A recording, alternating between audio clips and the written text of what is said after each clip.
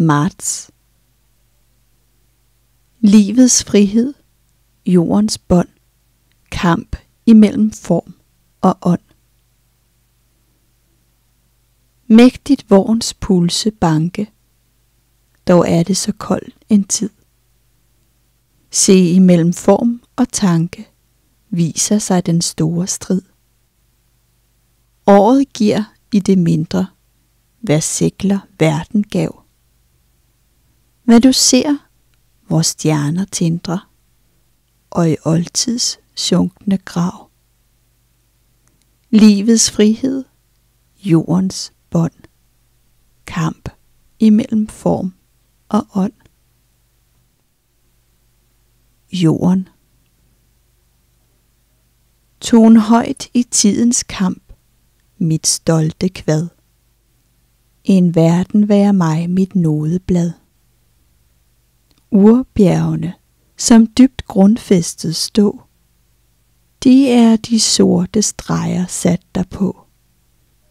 Og hver forstigning, hvert et lag deri, er noden til den stolte melodi.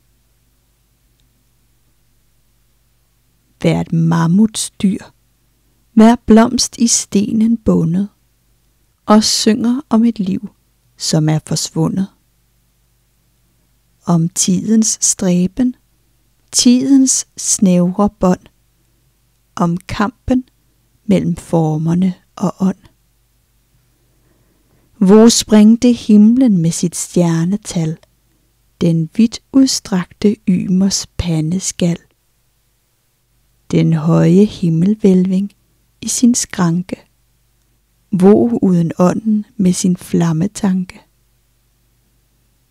Kopernikus gav jorden liv og gang. Stolt alle sfærerne i rummet sang.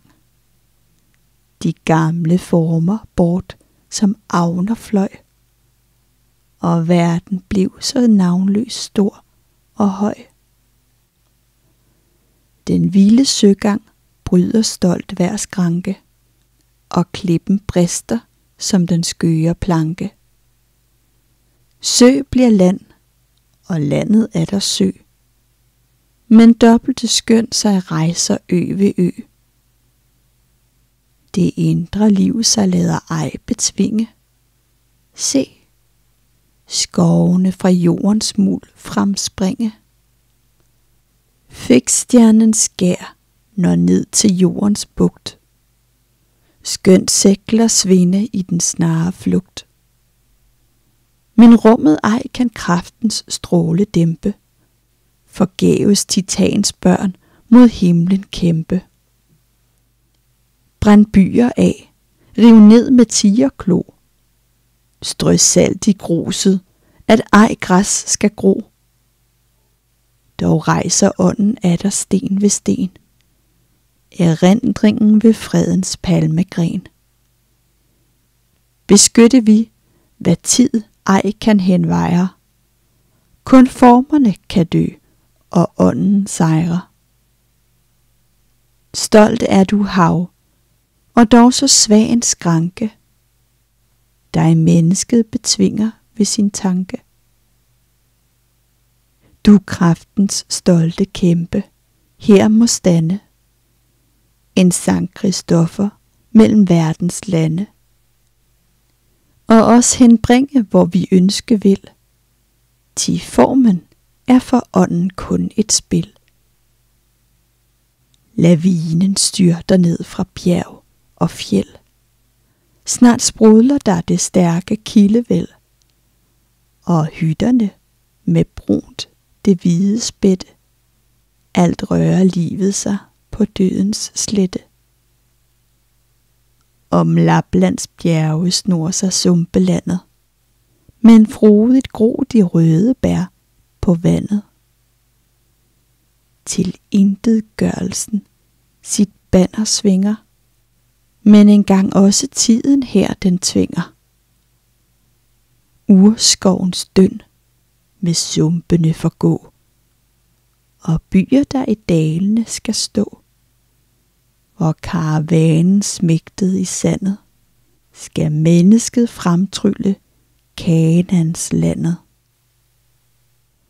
Altid, når åndens Moses stav det vilde, fremsprang trods formens klippe, livets kilde. Menneskelivet For den vilde syndflods vande, svende bjerge, byer og lande. Men ej snillet den betvinger, frelste slægter arken bringer. Højt på Ararat de dale, jorden snart er blomstersale. Lænket fast til døgnets klipper, ej Prometheus faklen slipper. Stjernens rige, bølgens hjem, vise må sin guddom frem. Hvad er formen uden livet? Derfor alt en Gud blev givet. Over bølgen vej de finde. Åndens skyldne skin at vinde.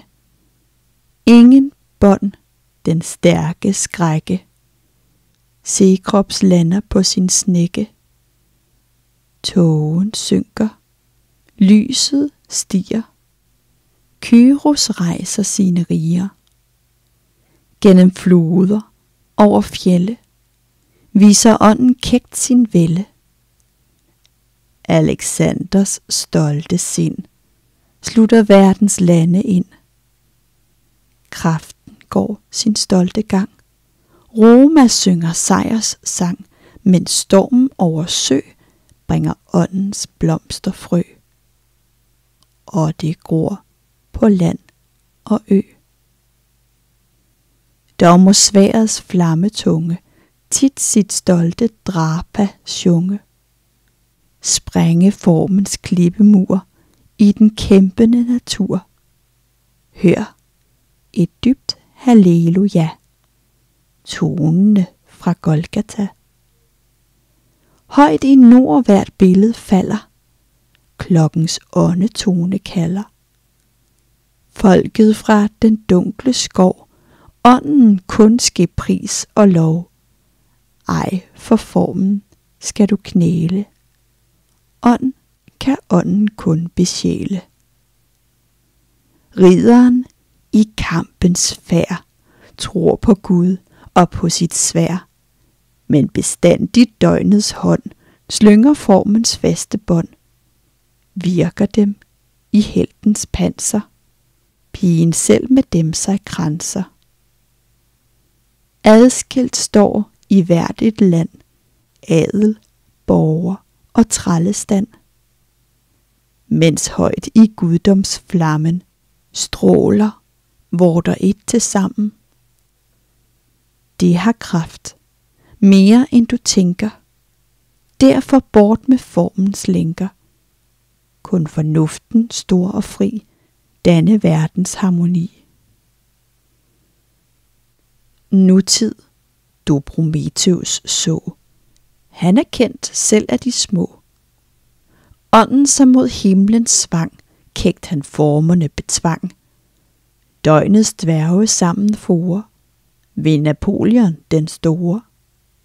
På den nøgne klippeø, i den dybe salte sø, havde de ham lænket ned, nidet skrift hans rygte slid. Men det voksede mere og mere. Verden har som ham ej flere. Mindes du, hvad skallen sang om den vilde, som engang landede ved Temsens høje, skallen ville ham fornøje. Nævnede navnet på hans Gud, højt i jubel hin brød ud. Tårer strømmede fra hans øje, gerne ville han fornøje, der ham, som fryd han bragte, og Napoleon han savde. Ti det navn gik over klipper, hvor den sidste tange slipper. Navnet selv på kraftens ånd sprængte sprogets snævre bånd. Poesien en guddoms tanke er du, poesi. udsprungen fra det store faderhjerte. Din sjæl er kraft, din tale melodi, dit smil kan dulme selv et jordlivs smerte. Dit klæbebånd er hver en skov, der gror. Den røde lava, bjerget svøbt i skyer, det dybe hav, hvor liviaten bor. Selv verdens fremlen i de store byer. For dig er ikke livets bibel lugt. Dit hjem er alle jordrigets lande. Igennem universet går din flugt med stjernediademet mod din pande. Sådan du står for hvert begejstret sind, og sjæl og tanke klart din guddom fatte. Du lukker barnet i din himmel ind, og viser manden din guddoms skatte. Imellem skotter verden til din flugt, skønt verden har så meget at bestille. Og mange lært beskriver dig ret smukt, og lærer dem, som gerne lærer ville. Det få, hvad mester har tænkt og ment. Det store kæmpelægemet man trangerer, og ser, at poesi er noget pænt, og digteren en flittig, god polerer. En velstuderet mand, en dygtig en, der ærligt døgnets middagssuppe laver, der kunstigt skærer ud en fersken sten, og ride kan spidsfindighedens traver, der siger, poesi er formelys, der støbes udenfra og smukt kan tindre. Men ej en vækst, der under nattens gys og dagens ild udvikles fra sit indre. Den vokser ikke kunstigt til en mur. En vækst, der under saksen form blev givet. Men griber ved sin stolte kraft natur og viser fra det indre strømmer livet. Når solens stråle gennem roden går, dit øje millioner støvgræn finder. Dog, det er ikke blomsterstøv, du får. Nej, hverdagsfnukket er det, som forsvinder. Blæs kun på, der vivler støvet smukt. Og der er form og runding smukke bølger, men døgnets sol går ned, et dødt produkt. Af alt, hvad er den hele stræben følger. Prometheus lig står skallen på vor kyst. Med tidens store ur, hans hjerte banker. En verdens tårer bølge i hans bryst. Kerobers flugt blev skænket til hans tanker. Han klipper ikke stas og springer buk, og skælder ud på skønne melodier, til da vil musen flygte med et suk. Og guddomsstemmen dybt i hjertet tiger. Løs formens bånd, den ægte poesi, i prosa selv som poesi vil stråle, men hverdagstanken i sin form magi er et metal, der ikke ild kan tåle. Lad mængden glædes ved det stas, han ser, ved disse spring og hvides piruetter. Det morer her at finde Paul og Per, hvordan som solen også de har pletter. Nej, musen flyver stolt mod himlens sol. Hun ser til havets ørken som til bækken. Til digterhjertet i en martsviol. og til hver fugl, der kvidrer mildt fra hækken. Hun tiger ved sin kære digters grav. Han lever jo der, hvor hun selv har hjemme. Men det, som han den hele verden gav, det nævner ham, til det ved ham fik stemme. Og våren viser ved sin kamp og strid, at liv må gennem dødens lis fremspringe. så var, så bliver det til evig tid. Den stærke ånd skal formerne betvinge, ej solens stråle i den frie luft, formår at danne blomstens fine bære. Det er ej den, der fylder den med duft.